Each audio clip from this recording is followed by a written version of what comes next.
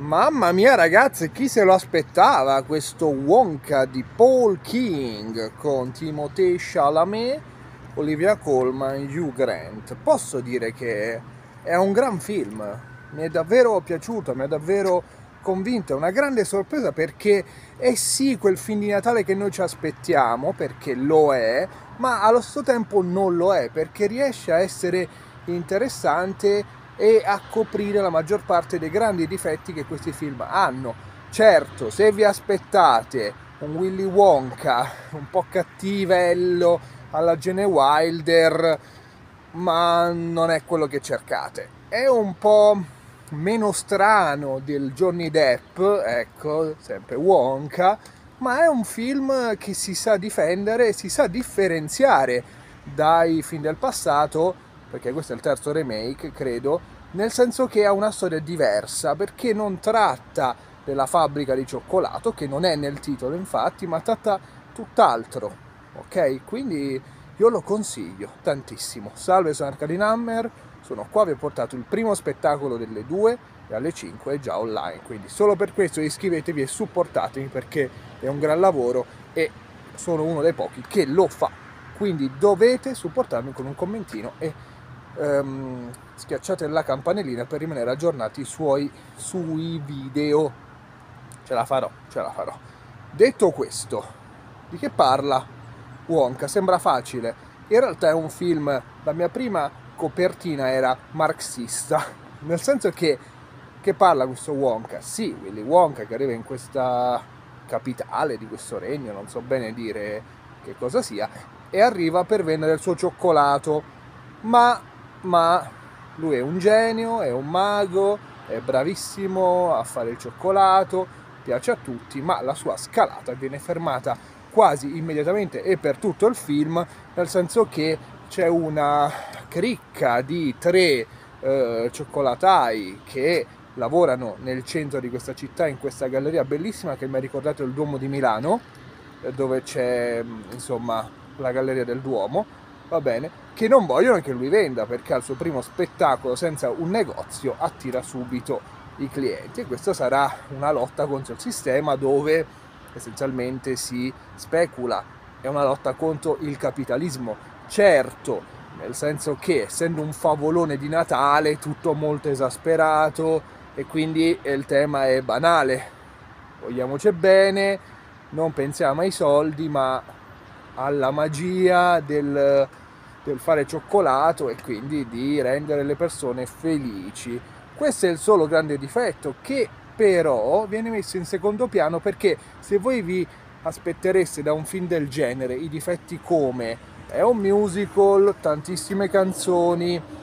quindi due ore dite vabbè ma che palle, due ore, metà del film è canzoni, sì, quasi, ma le canzoni sono ben contestualizzate perché la narrazione non va lenta per vedere le canzoni, perché che cosa capita di solito? Su due ore dici, ah ok, un'ora e un quarto di film e 45 eh, minuti di canzoni. Invece qua le canzoni sono ben contestualizzate, sono anche orecchiabili, belle eh, le varie coreografie, sono coinvolgenti, non è il mio genere sicuramente, quindi dopo un po' mi sono anche un po' annoiato, però sono coinvolgenti, quindi sicuramente funziona e questo si lega al lato tecnico di Paul King che ha fatto i due eh, Paddington che non ho visto molto ben fatto nel senso che è una regia buona elegante che funziona che ti mostra quello che succede nelle varie location che sono diverse fra di loro e devo fare un applauso per l'uso dei colori della fotografia dei costumi e di tutto l'impianto estetico di questo film che è davvero accattivante, catchy, come le musiche, come i balletti e come anche gli attori in gioco. La storia, poi andiamo sugli attori in chiusura. La storia è certo classica, dove c'è un cattivo da detronizzare, un gruppo di cattivi, un sistema da detronizzare in favore di un popolo eh, che deve riscattarsi, no? che deve ritrovare la felicità, ma c'è una costruzione certo classica ma funzionale, dove i personaggi evolvono in maniera interessante e intelligente. Quindi tutto ben costruito con un inizio dove conosciamo anche meglio questo protagonista Wonka che nonostante non si sappia tantissimo, ma i fondamenti del suo carattere, le ragioni per cui fa quello che fa sono ben chiarite e ben contestualizzate nella storia perché incontra gli altri personaggi, questo gruppo di persone, senza fare spoiler, con cui deve eh, rovesciare il sistema, quindi eh, crescono anche questi personaggi secondari che sì, non sono troppo approfonditi, ma tutto sommato vengono esplorati, soprattutto uno, questa ragazzina di colore molto giovane, con cui eh, i due, quindi Wonka e questa Noodle, hanno un gran bel rapporto, secondo me, e ci, a me almeno, che non sono facile, mi ha anche commosso sul finale per un paio di elementi davvero interessanti sui due personaggi. Quindi, quindi storia, facciamo un riassunto. Classica, super classica, ma scritta bene. Due ore che non pesano con le musiche e con, le, con i momenti del canto. Musical, quindi super promosso e, e ha coinvolto me che odio i musical, però questo è fatto bene. Chiudiamo sugli attori. Andiamo su quelli meno um, attesi, tra virgolette. La ragazzina che fa Noodle è molto brava, più Grant ha una piccola parte, nel trailer sembrava molto più ampia in realtà, ha una piccola parte, fa l'umpa lumpa, anche qua non è un film come ce lo aspettiamo con tantissimi umpa lumpa, non c'è una fabbrica di cioccolato, cioè Hugh Grant ben inserito, compare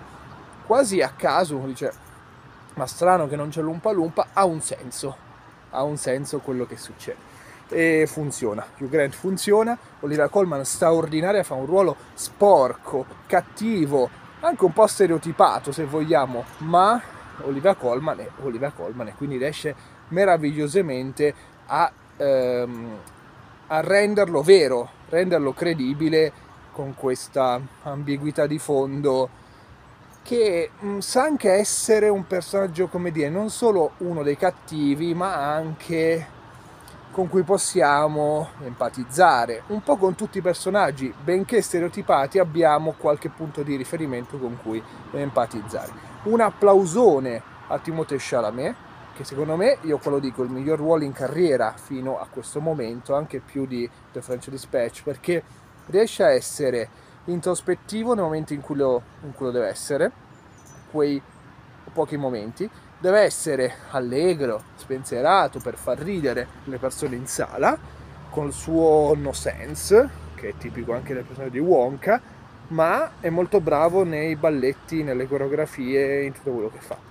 Ed è straordinario in questo film, davvero, mi ha davvero convinto, è uno spettacolo vederlo nonostante non abbia questo aspetto così particolare, originale. Eh, se io penso a Wonka mi viene in mente Gene Wilder,